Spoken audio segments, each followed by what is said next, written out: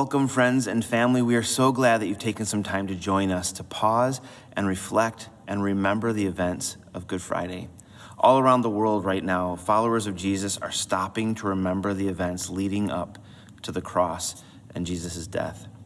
These events remind us of the incredible cost that God paid for your salvation and way back to our loving God. These events also remind us of the immeasurable worth that every human being has because God was willing to pay the ultimate price for you and for me. So, as we go through these elements, as we go through these stories, and we remember and recount these details, I want to encourage you to take them personally. These events were for you, they were for me, they were so that we can know God forever. And so we would like to invite you to make this time interactive. If you haven't already yet, uh, grab some candles. We are going to be using four candles. If you don't have candles, you can use tea lights. You can use some lamps in your house. They don't have to be incredibly fancy. Um, but we want to retell this story and we want to sit in these scriptures and reflect in a way that is meaningful. And we are praying that God uses this to deepen our devotion for Him that God reminds us of the great cost that He paid for us, and that our love and appreciation for Easter and the celebration that we come with the resurrection will come with that much more depth and meaning and richness uh, because we've sat in the truth and the reality of the cross. So if you haven't yet, uh, please set your candles out uh, like this in front of you. And I would encourage you as this goes along, if you've got little children with you, uh, to watch and to tell and explain to them uh, what these events mean. Remind them of the great cost that Jesus paid for you and for me. And let us treasure, let us treasure the amazing reality that God so loved the world that he gave his one and only Son. So, as we go through our time together, we will be lighting these candles. Um, as we light them, I would encourage you and your family to light them every time you see one lit. Every time that we blow out a candle, we'd like to invite you in your home to turn off that light or blow out that candle. We're going to start our story where John starts his gospel in John chapter 1. So, if you have your Bibles with you, I'd encourage you to turn there with us. John chapter 1 reads In the beginning was the Word, and the Word was with God, and the Word was God. He was with God in the beginning. All things were created through him, and apart from him, nothing was created that has been created. Life was in him, and that life was the light of men. Light shines in the darkness, yet the darkness did not overcome it.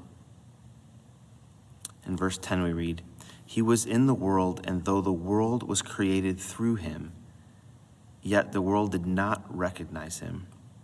He came to his own, and his own people did not receive him. But to all those who did receive him, he gave the right to become children of God, to all those who believe in his name, who were born not of blood, or of the will of the flesh, or the will of man, but of God. This is, this is our story. This is what we believe, and this is what we tell as Christians that, that this world was created with intention, that this world was created by design, it was crafted by the loving hands of a creator, our God. And we learn that in the beginning, Jesus was with God, that Jesus was God, and that Jesus was there from the beginning and that Jesus, in our state, did not leave us stuck in our sin, but instead was willing to take on flesh and blood and become like you and me and walk the life that you and I could never walk. And John gets really poetic and he lets us know that even though the world was created for him and through him, it did not recognize him. But instead, the tragic happens that the creation rejects the creator once again and we find out that the fall of man wasn't just something that happens with Adam and Eve, but it's something that all of us have done. We have taken God out of his rightful place in our lives. So, in the beginning of John's gospel, we learn that light was with God since the beginning. And that light was the light of all creation. That Jesus made everything through him and for him. And then we learn that Jesus was the light of all men, and that light bore flesh and blood and became incarnate. And lastly, we see that even though the darkness did not understand Jesus, it could not overcome the light. And so we begin our story with the light that was with God, the light of creation, the light that became flesh, and the light of hope that could not be extinguished. Let's celebrate that truth together. Jesus is the light of the world. And as that passage from John 1 said, uh, life was in him. He is the source of life. And that life was the light of men. He is the light of the world. And tonight, as we reflect on uh, the events, some of the events from Good Friday, um, although it is very sobering for sure, what um, we can take great hope because the light of the world gave himself up, went to such lengths as this to rescue and redeem us. And so tonight we can have hope in him and we want our remembering to be with hope.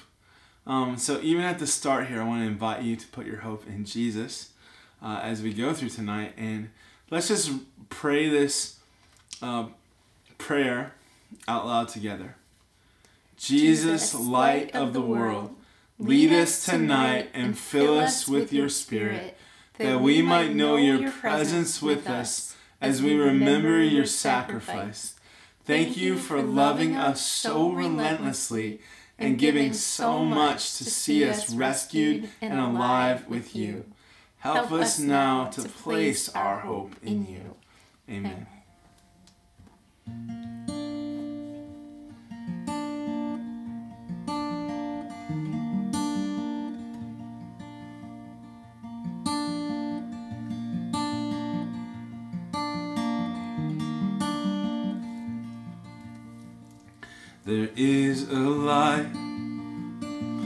It burns brighter than the sun. He steals the night and casts no shadow. There is hope. Should oceans rise and mountains fall, He never fails. So take heart Let his love lead us through the night. And hold on to hope and take courage again.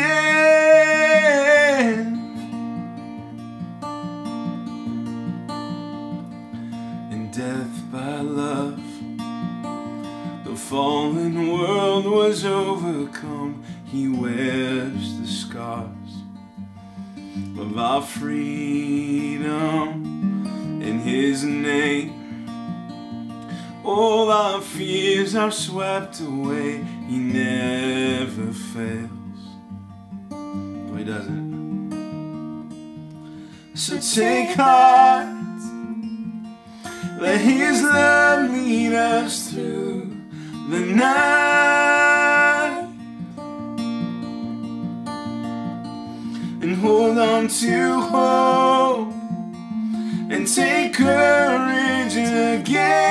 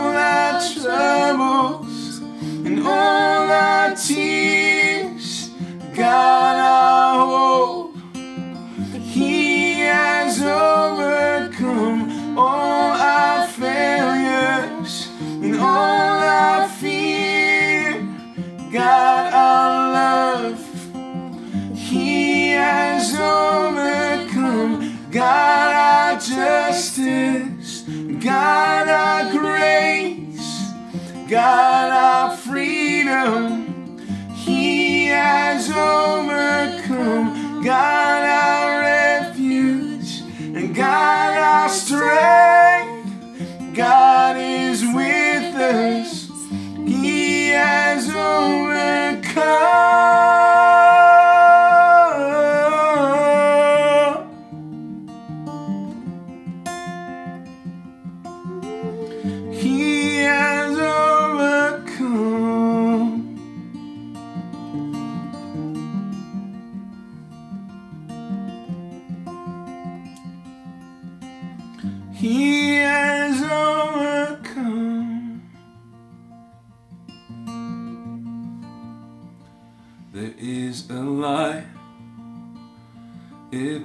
brighter than the sun. He steals the night. Cast no shadow. There is hope.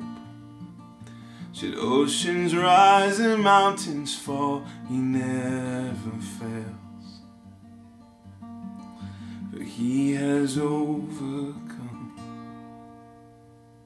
John starts his recounting of Jesus' life by saying that God was before everything, He was in everything, He created all things, and then He becomes flesh and blood. He actually becomes like you and me. And when He showed up on the scene, we didn't recognize Him. And for me, I kind of like to say that that's their story. And when I think of Adam and Eve, and when I think of sin, sometimes I even think of that's their story, that's their problem, and I'm now living with their consequences. But if I dig a little bit deeper, I think the same situation falls on me.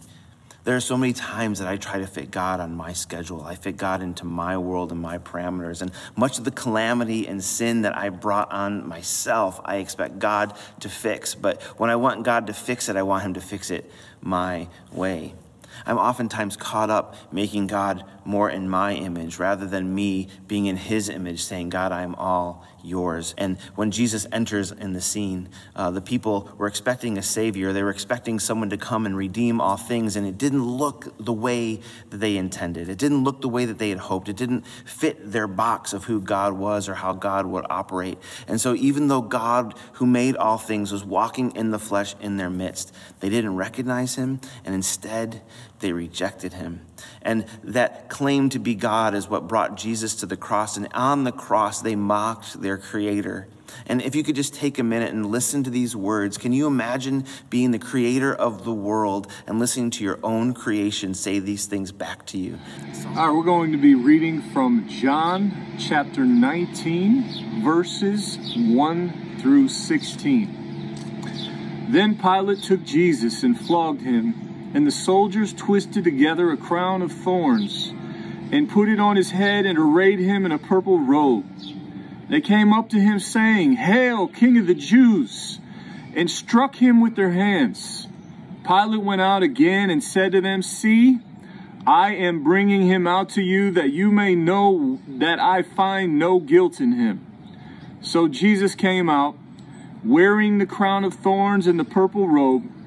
And Pilate said to them, Behold the man. And when the chief priests and the officers saw him, they cried out, Crucify him! Crucify him! And Pilate said to them, Take him yourselves and crucify him, for I find no guilt in him. And the Jews answered him, We have a law, and according to that law he ought to die because he has made himself the Son of God. And when Pilate heard this statement, he was even more afraid. He entered his headquarters again and said to Jesus, Where are you from? But Jesus gave him no answer. So Pilate said to him, You will not speak to me? Do you not know that I have the authority to release you and the authority to crucify you? And Jesus answered him, you would have no authority over me at all unless it had been given you from above. Therefore, he who delivered me over to you has the greater sin. From then on, Pilate sought to release him, but the Jews cried out, If you release this man, you are not Caesar's friend. Everyone who makes himself a king opposes Caesar. So when Pilate heard these words, he brought Jesus out and sat down on the judgment seat at a place called the stone pavement, and in Aramaic, Gabbatha. Now it was the day of preparation of the Passover. It was about the sixth hour. And he said to the Jews, Behold your king. And they cried out, Away with him, away with him, crucify him. But Pilate said to them, Shall I crucify your king? And the chief priests answered, we have no king but Caesar. So he delivered him over to them to be crucified. Psalms tells us that God knows how many hairs are on our head. He knows the words we're going to speak before we say them. He is intimately acquainted with you and me. He loves us dearly. And then can you imagine hearing his creation that he knows so well say and do these things when they rejected and they beat him and they mocked him? So as we come to extinguish the first candle, we remember that even though the world was created through him, it did not recognize him. Would you pray this with me? Jesus, we remember that you endured the mockery and the rejection of your creation. Let's extinguish the candle together. Isaiah 53, 3 through 6. He was despised and rejected by men a man of sorrows and acquainted with grief. And as one from whom men hide their faces, he was despised, and we esteemed him not. Surely he has borne our griefs and carried our sorrows. Yet we esteemed him stricken, smitten by God, and afflicted. But he was pierced for our transgressions, he was crushed for our iniquities. Upon him was the chastisement that brought us peace and with his wounds we are healed. All we, like sheep, have gone astray. We have turned every one to his own way, and the Lord has laid on him the iniquity of us all. So, John tells us in his gospel that the Word became flesh. The light that gives light to all men had become flesh and blood for you and for me. Philippians says it this way that even though he was fully God, he did not consider equality with God something to be grasped, but he took on the nature of a servant. And then Jesus lived the life that you and I could never live. And then he endured a suffering that you and I could never endure. And so we remember on Good Friday that the flesh, the body, the real physical living Jesus suffered and endured hardship for you and for me. Isaiah says that he was despised and rejected by man, a man of suffering who knew what sickness was. He was like someone people turned away from. He was despised and we didn't value him. And yet he himself bore our sickness and he carried our pains. But we in turn regarded him as stricken, struck down by God and afflicted.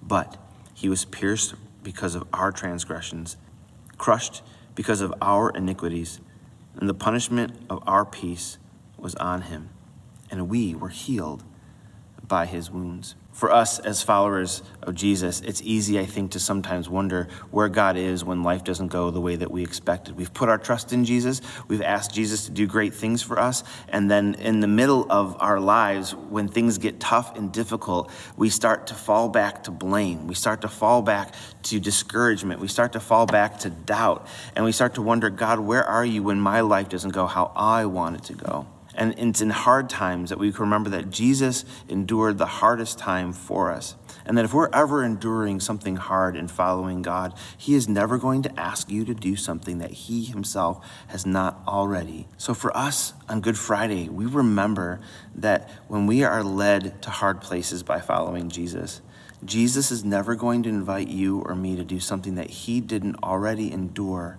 Himself. And Jesus endured things that we could never endure, which was the punishment that brings us peace. Jesus paid for our unrighteousness so that we could become righteous. I love the way it said in Colossians that God took him, Jesus, who knew no sin, to become sin for us, that we might have the righteousness of God. And so we remember and think about the suffering that Jesus endured, the mocking, the beating, the pain the agony of the cross, being thirsty, being tired, being naked and ashamed on a cross fully exposed for other people. And the worst of it wasn't even those things, it was what was to come next. But we remember that that suffering that Jesus went through was for our peace. So, as we put the second candle out, let's pray this together out loud now. Jesus, we remember how you suffered to redeem us.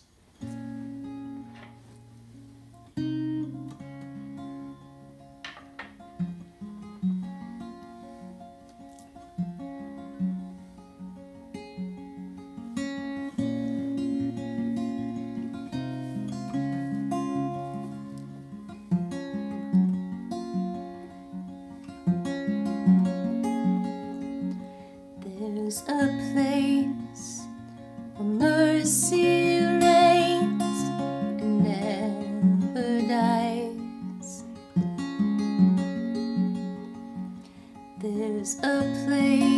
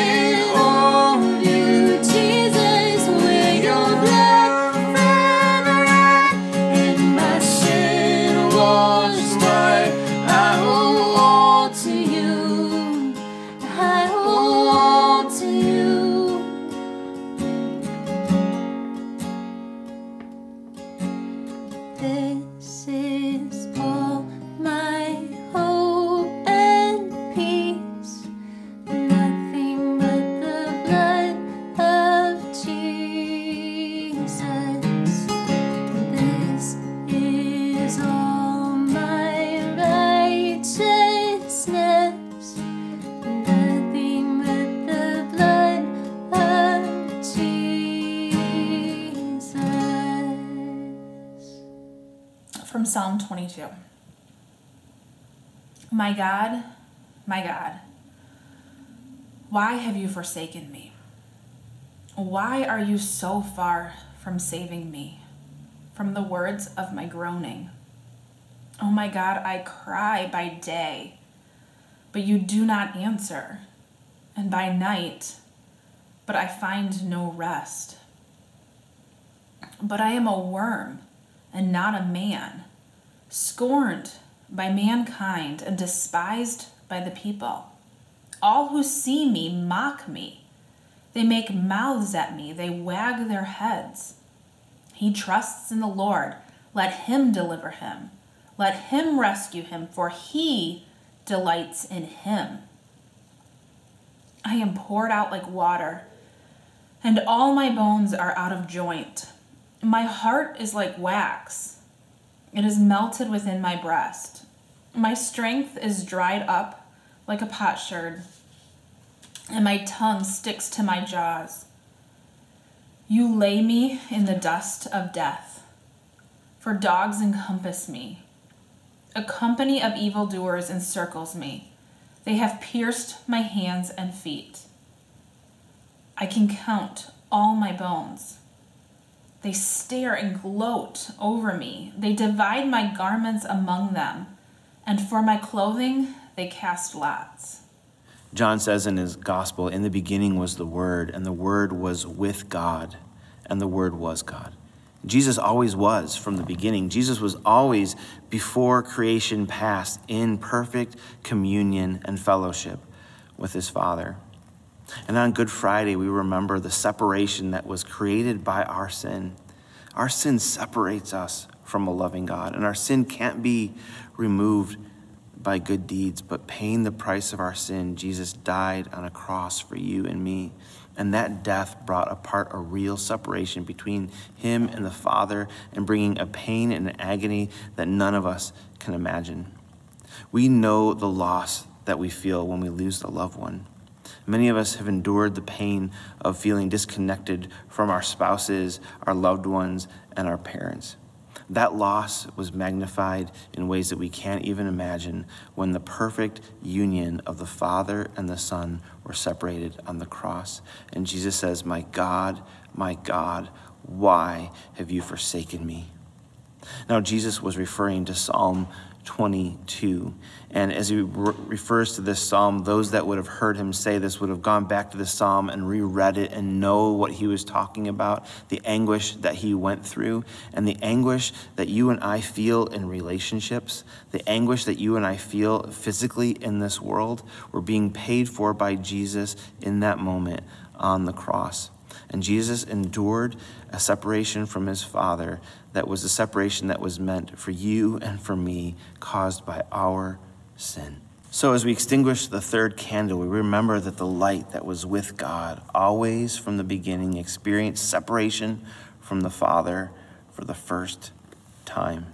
Would you pray this with me? Jesus, we remember on Good Friday that you endured a separation from the Father for us to be redeemed.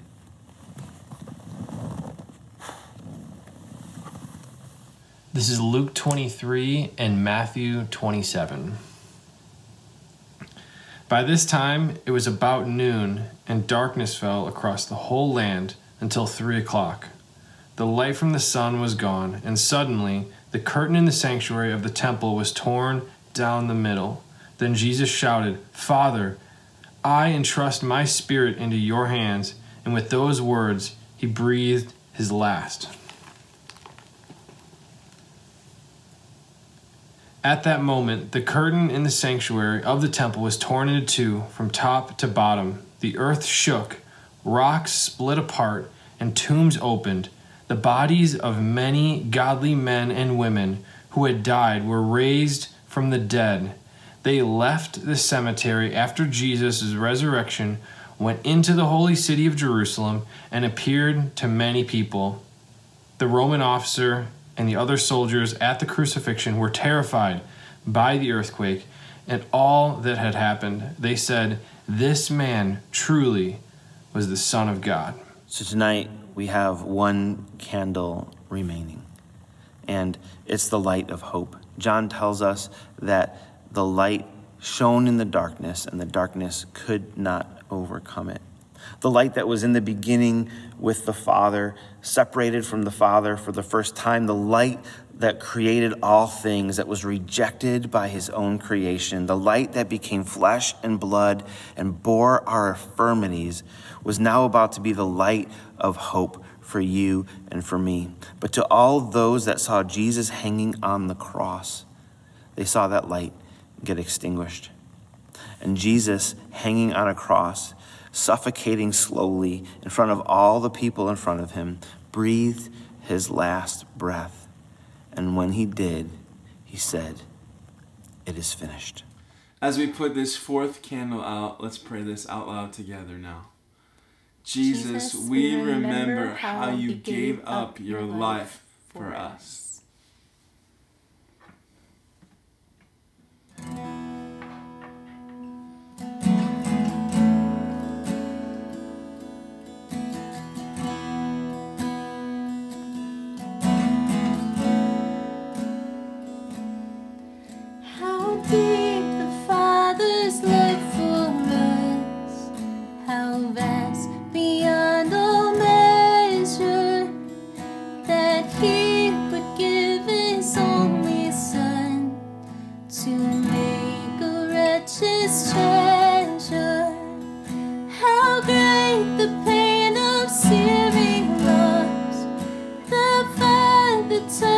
His face away.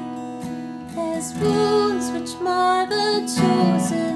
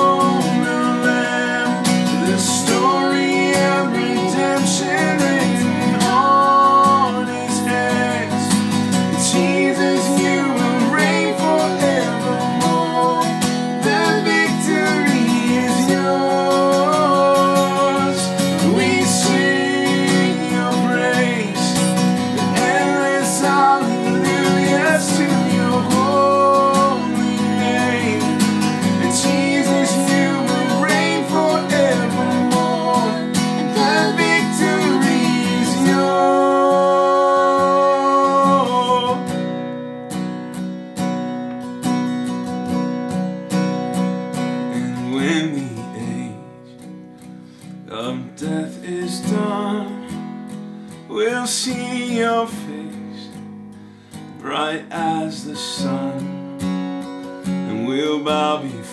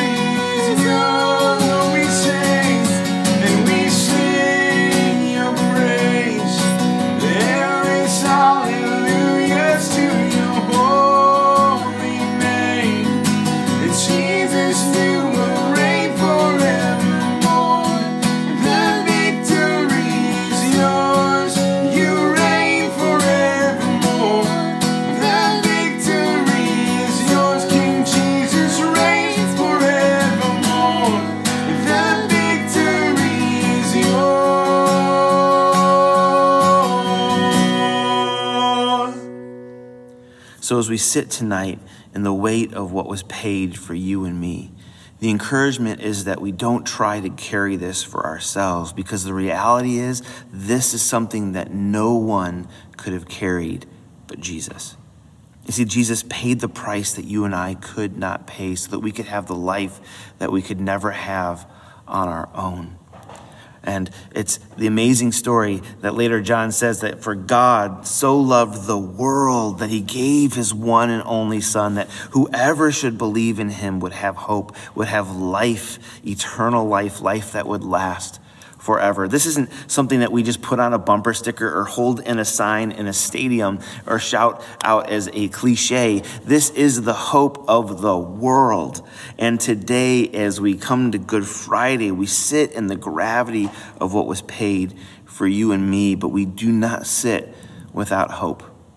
And my prayer is that tonight and this weekend leading up to Easter is that we would spend time confessing before God. The reality is that, that God, we have all played a part in rejecting you. And because of that, God, you endured a separation from the Father that you've never experienced before. And you endured a pain and a suffering we could never endure. And you died and paid for a punishment that we could never pay for.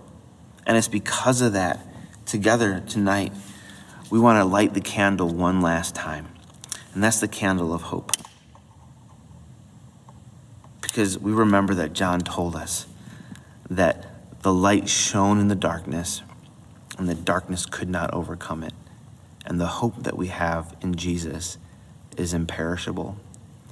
So, church, friends, and family, we want to close in prayer tonight and thank God for the immeasurable price that was paid for you and for me. And let us wait with anticipation as we retell and remember the pinnacle of our faith at the resurrection on Easter. Let's pray. Jesus, thank you so much for the price that you paid for us. There is no way that we could sit in this long enough or reflect on this long enough that would ever give credit or do worth to what you've done for us. So all we can simply do is receive it and say, Thank you. Jesus, as we uh, approach Easter and the resurrection and the reality of the resurrection, we would not jump to resurrection without first reflecting on the cost of the cross. It's in Jesus' name we pray. Amen. Thank you for being with us in this church. And as we go, we go in hope. And as we go, we go in anticipation as we get ready to celebrate the reality of the resurrection on Sunday. We'll see you this Sunday, church.